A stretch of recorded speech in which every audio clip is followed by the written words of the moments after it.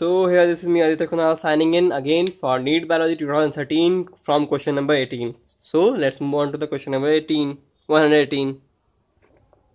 So this is our 118 question ठीक है तो इसको आप सॉल्व कीजिए कोशिश कीजिए और फिर देखिए आंसर क्या होता है hope you have solve it तो हमारा क्वेश्चन क्या कह रहा है कि monoecious plant of Chara shows सबसे पहले मोनोशियस क्या होता है तो मोनोशियस मतलब जिससे भी इंडिविजुअल में दोनों ऑर्गनों मेल और फीमेल ठीक है? अब इसमें क्या होता है? कारा एक बहुत स्पेशल है। क्यों स्पेशल है? क्योंकि एनसीआरटी ने इसका डायग्राम दिया है। सिंपल सा लॉजिक है इसमें और कोई लॉजिक है ही नहीं कि एनसीआरटी ने इसका डायग्राम दे दिया तो स्पेशल हो ही गया। अब इसमें है क्या?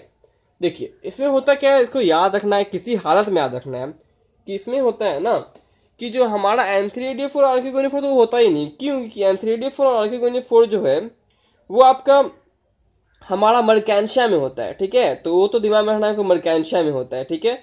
इसमें क्या होता है? तो कारा में क्या होता है ना कि इसमें अपर उगोनियम और लोअर एंथ्रीडियम होता है। इसमें जो फीमेल होती है, वो ऊपर होती है, ठीक है? आपको कारा का डायग्राम कुछ इस ढंग का आपके एनसीआरटी में दिखेगा, अगर उसका ध्यान से दिखेगा तो इस ढंग कारा है, ठीक है? और ये है आपका मेल ऑर्गन और इसके ऊपर गोल सा एक फीमेल ऑर्गन है, ठीक है? तो उगोनियम हमेशा ऊपर होता है और एंथ्रीडियम जो होता है वो हमेशा नीचे होता है, ठीक है? लोअर सर्फेस पे होता है, नीचे होता है। उगोनियम अपर होता है और लोअर होता है एंथ्रीडियम ठीक है? इस बात को दिमाग में रखना है याद रखना है अच्छे से। अब भाई काड़ा है किसका पार्ट तो काड़ा हमारा क्लोरोफाइसी एल्गे का पार्ट है, ठीक है? ग्रीन एल्गे का पार्ट है। सो दिस क्वेश्चन ठीक है? तो गो एंड सॉल्व इट तो hope I you have solve that question ठीक है? तो आगे बढ़ते हैं। तो ये क्वेश्चन कह रहा है कि which of the following BT crop is grown in India कौन सा? Simple sure short answer cotton कैसे भाई? बस एनसीआरटी ने जो लिखा है उसी पे दिया लगाना है। कुछ नहीं है इसमें। देखिए क्या है कि बीटी क्रॉप का बस दो ही क्रॉप के बारे में एनसीआरटी ने ज़िक्र ही किया है। कौन कौन सा भाई?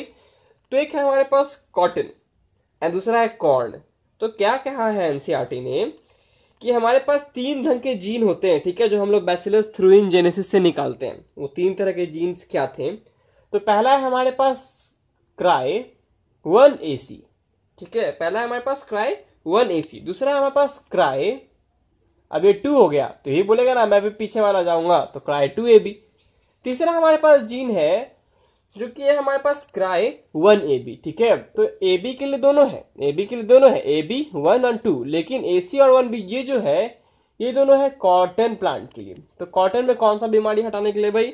तो कॉटन में बॉल वॉर्म जो होता है ना, उससे हटाने के लिए इसे हम लोग यूज़ करते हैं। और ये किसके लिए भाई? तो ये कॉर्न प्लांट के लिए, ठीक है? ठीक है कॉर्न प्लांट के लिए कौन सा बीमारी तो कॉर्न बोरर प्लांट हटा डिज़ीज़ को हटाने के लिए हम यूज़ करते हैं। ठीक है, इसमें है क्या कि ये दो प्लांट दिया हुआ है कॉटन और कॉर्न तो अब भाई इंडिया में कौन सा होता है? होता दोनों है, ठीक है? होता हमारे इंडिया में दोनों है, हम लोग दोनों को यूज़ करते हैं इंडिया में। लेकिन इन चारों ऑप्शन में कोई दिख रहा है आपको? हाँ दिख तो रहा है कॉटन तो बस कॉटन ही होगा आंसर में। इसके अलावा कुछ नहीं, क्योंकि बस दो प्लांट का नाम ही है बेटी कॉटन का तो वो इंडिया में ग्रो होता है और जिसमें चारों में से बस एक ही है। कॉटन तो कॉटन याद रखना है, ठीक है? और इसको याद रखना है क्राई वन ए सी और वन ए बी तो देखिए, दोनों तो बी तो है ही, ठीक है? ये तो दिमाग में है दोनों बी है, लेकिन जहाँ सी है, वो तो कॉटन के लिए होगा। कॉटन और ये कॉर्न है तो ये कॉटन है सी और ये भी तो बी तो यहाँ पे ध्यान रखना है, ये जो बी है ना, ये बोरर है, और ये कॉर्न वन वाला जो होता है, वो कॉर्न बोरर के लिए होता है वन ए बी और वन ए सी और टू ए बी जो होता है, वो होता है कॉटन बॉल वॉर्म के लिए, ठीक है? हाँ तो आते हैं माइक्रोब्स इन ह्यूमन हेल्प में जो हमारा चैप्टर है, उसमें सिट्रिक एसिड का गुड प्रोड्यूसर कौन सा है? तो श्योर शॉर्ट आंसर एस्परजिलिस इसका पूरा नाम होता है एस्परजिलिस नाइजर ठीक है नाइगर भी बहुत लोग कहते हैं इसे तो एस्परजिलिस नाइगम ये होता है पूरा नाम इसका, ये करता है सिट्रिक एसिड प्रोड्यूस ओके इसमें कुछ नहीं जानना है इसके अलावा। क्लॉस्ट्रीडियम के बारे में कुछ जान सकते हैं, आप तो ये जान सकते हैं Clostridium red rot of sugarcane cause करता है, क्या कहता है red rot of sugarcane cause करता है ठीक है? इसको याद रखिएगा। काफ़ी क्वेश्चन पूछा जा सकता है इससे सैक्रोमैसिस तो ईस्ट है, हमारा बेकर्स ईस्ट लिखा हुआ है कहीं एनसीआरटी ने। ठीक है, उसके अगले पेज पे एनसीआरटी ने इसे ही क्या बोलते हैं? हमारा फर्मेंटस ईस्ट जो होता है फर्मेंट करने के लिए यूज़ करते हैं। मतलब सैक्रोमैसिस को हर जगह यूज़ करते हैं, ठीक है? चाहे वो अल्कोहल बनाना हो, चाहे वो हमारा ब्रेड बनाना हो, सब यूज़ करते हैं, ठीक है? सो ये हमारा क्वेश्चन है एक सौ इक्कीस, ठीक है? तो उसमें देखना है कि, देखिए पहले ये क्वेश्चन पढ़िए hope you have solve it ठीक है? तो हम लोग आगे बढ़ते हैं। इसमें क्वेश्चन में क्या है भाई? देखते हैं।